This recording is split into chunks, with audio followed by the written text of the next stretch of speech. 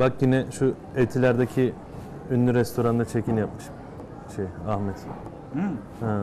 Zaten hiç, hep böyle yerlerde yapıyor. O, o git- gitmediği yerde de çekiyor. Evet.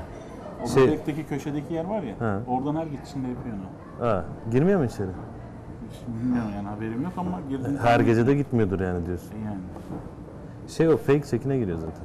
Ben karşıyım check. Ben acayip karşıyım. Yani nerede olduğunu bilmiyorsun. Yani nerede olduğunu yalandan beyan ediyorsun. O şey ama hani Ha var. aynen. Çakma hani ünlü markaların çakmasını kullanmak gibi bu da işte çek fe- şeyin e, Foursquare'ın çakma şeyi. Peki bu o mekanda check-in yaparak ne olmuş oluyor? Yani işte statüsünü belirliyor.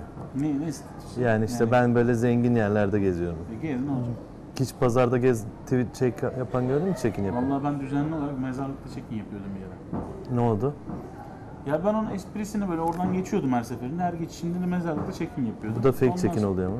Fake check-in de ben böyle hani her gün mezara mı gidilir muhabbeti falan filan olsun diye böyle bir nevi gırgır gibi yapıyordum. Ondan sonra bir gün şey dedi ya siz dedi burada devamlı check-in yapıyorsunuz ama dedi bana dedi o mezarlıktaki birisini anımsatıyorsunuz. Her sabah moralim bozuluyor falan dedi. O günden sonra bir de Ha, işte bak fake check-in her, her şekilde zararlı. evet. Yani ama benimki biraz şey kötü bir Seninki biraz şey olmuş evet. Yani Ya da- gırgır yaparken suyu çıkmış gibi. Sirkeci amele pazarı var. Sirkeciye ne zaman gitsem orada check-in Biliyorum, takip O, ediyorum. o- orası ama oradan geçiyorum hakikaten. Orası böyle bir meydan Ama gibi bir pazarda alan. durmuyorsun ama. Ama oradan geçiyorum, geçerken yapıyorum. O da, re- o da şeyin önden geçiyor, restoranın önden geçiyor. He. Ama benim statü kaygım yok onda. He, o, o biraz kurtarıyordu ama yani mantık aynı mantık aslında. Esprili, esprili şey e, çekim olur mu? Olabilir. Mesela. Ben geçen mesela Nişantaşı'nda Victoria's Secret'ta yaptım. Aa, ne aldın? Bir şey almadım, böyle geçiyordum gördüm. He. Bir umut çekin işte. Belki bir şey çıkar dedin ama. yani bir ümit yaptık ama bir faydasını da göremedik. Yok olmuyor onlar. Şey muhabbeti oldu ondan sonra birkaç kişiyle.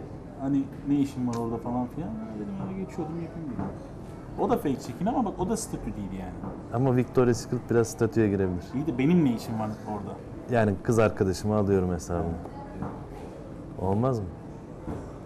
Ben zaten ben alışverişe de karşıyım. Senin karşı olmadığın bir şey var mı?